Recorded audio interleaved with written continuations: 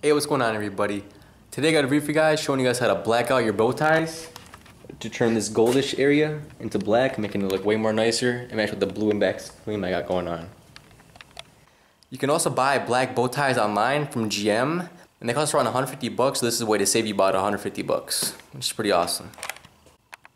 Alright, so the things that you're going to need is some newspaper, magazine paper, or some regular paper, some masking tape or painter's tape, it needs some gloss black paint. I recommend the Krylon paint and primer. The gloss black looks really nice. This has a real nice gloss finish to it and turns out really good. And when you go to buy paint, do not buy the Rust-Oleum's gloss black paint because it is not gloss black, some bullshit ass paint because it ends up like a matte finish. So just don't buy that shit, just throw that shit away if you actually bought it. Do not get that, okay? Alright, so your first step on this one you want to take some masking tape, cover up everything around the logo, and just get it perfectly. Try to push it into the edges, trying to get like a perfect finish. Just want to make it look professional as possible, nice and clean, not all spotty and shit like that. And when you're covering everything up with some newspaper or anything like that, you want to make sure you cover your, your entire car and then some, because when you spray some spray paint, it goes in the air and kind of flicks around, so you don't want anything settling on your car and getting any paint on your car at all. And to make sure you cover it nice and flushly, put a little tape over the edge of it, and once you're done taping it down, take your fingernail or just a credit card or something small and slim, and just slowly go in, press it down, make it nice and flush.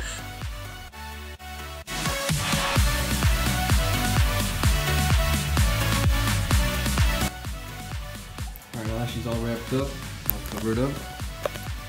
Get your rattle can, cut the front all taped up, do the same thing as the back shake fucking like 30 seconds. Fucking like. I want to do light coats and wait about 20 minutes between each coat to get a nice even look. Make sure not to hold your spray can too close so it doesn't bubble up or nothing. And just slightly do some coats.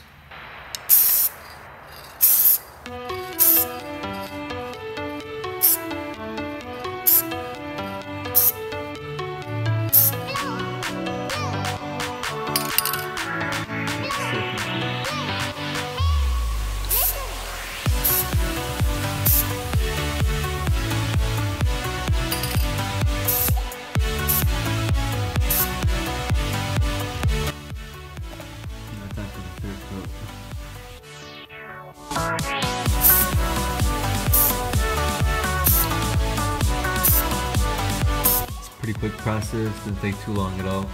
The biggest thing is just waiting for it to dry. So I three coats in the back, about to do the front right now, let it dry overnight, do three coats tomorrow. Alright, it is the next day, I'll do a couple more coats and see how it looks.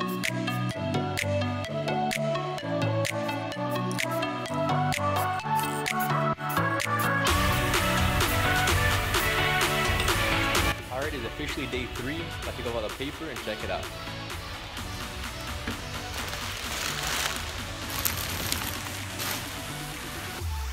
On the back, you see I did a pretty decent job. It's just like a regular black bow tie. Missing a little spot right here, so I gotta touch that up. If you see around the corners, there is some black spots from overspray. So you can easily take that off with some Goo Gone or some solvent, just don't get on the paint of the car. As you can see in the front, there's some overspray right here I had to take off. Some minor spots on the little edge I gotta touch up. And there's some overspray right here, probably from spraying too close or spraying too much. I'm to take some sandpaper and wet sand a little bit to take it off. You guys pretty much get the gist of it though. All you need to do is get some fine grit sandpaper, some water, wet sand a little bit, get that little overspray off, touch it up, make sure it's all nice, it's pretty much all done. Take a look at it in the sun though.